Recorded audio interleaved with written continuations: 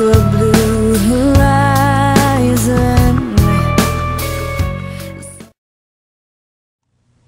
guys, it's Liv, or Danny Phantom SG1, whatever you want to call me. Um, I decided to show you how to get rid of the dreaded X on Windows Movie Maker effects. I only know how to do this if you put it over an entire video, so just use it for like if you want motion blur over the whole thing, or a coloring or whatever. Um, I'm just going to show you with this MEP part that I finished yesterday. Um, here's what it looks like without any effects on it.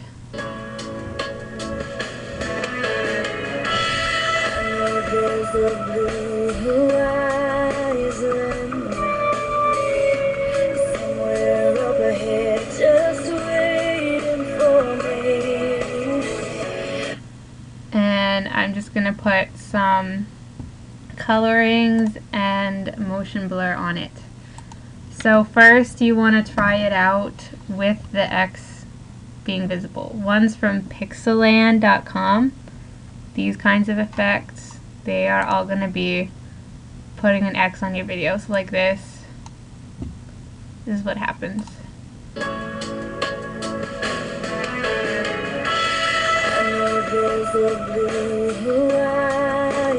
So it looks really cool because it's like motion blur. but you get an X over your thing and that just doesn't look good. So that's why I never use these effects until the other day I figured out how to do it. Um, so you kind of play around, see what you want first. Always do that first. I put bright on it, I think. Just a coloring. So just to see what it will look like, play around with it, get the ones that you want written down. And then the way you do this oh, is you first squash to full screen because most of your videos are going to be in widescreen, so it's like that now. And then this really important effect that I don't even know where I got it, so hopefully you guys can find it. but it's called DPL CK Prep Blue UL, and it puts your entire video in this upper right hand corner, or upper left hand. Wow, I'm sorry.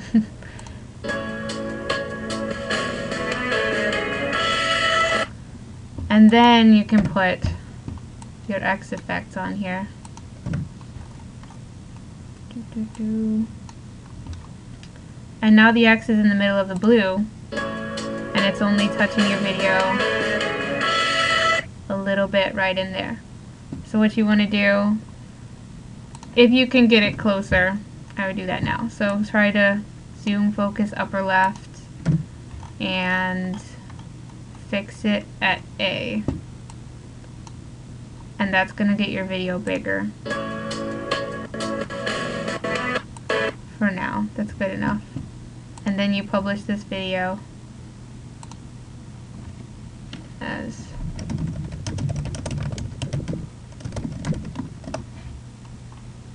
and it depends on whether you want really good quality or not. Um, I usually just do best quality for playback on my computer when it's something that I'm not uploading to YouTube.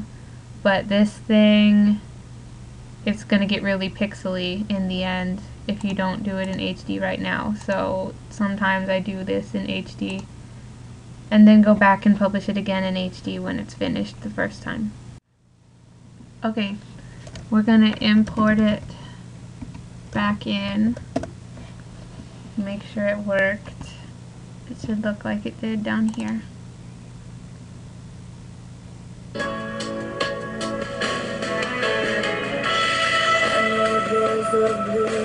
It does. Okay. Now you have like this weird pointy thing in the corner down here.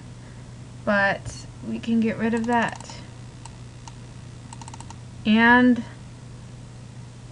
well, I'll talk about that later. Okay, go to DPL effects and get, oh my gosh, this. Resize 4x3 to 16x9. This is going to undo your um, squash to full screen. So now it's pretty much the same size it was when you first made it, but there's still this little tiny bit of X and a little bit of blue on the top and bottom. So I go to resize crop 2%. And that should get rid of it completely. And now you have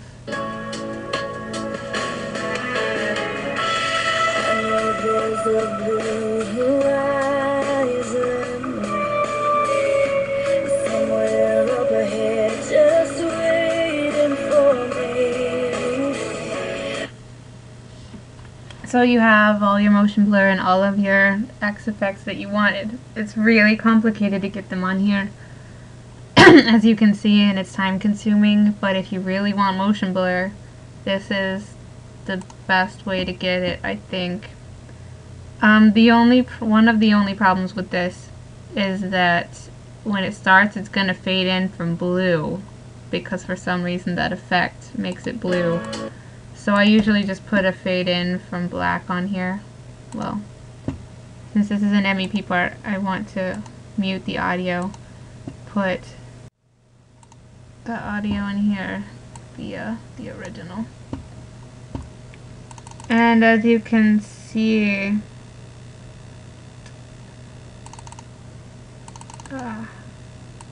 my MEP part actually stopped around here and I let the clip go on for a while because I knew it was going to fade out to blue.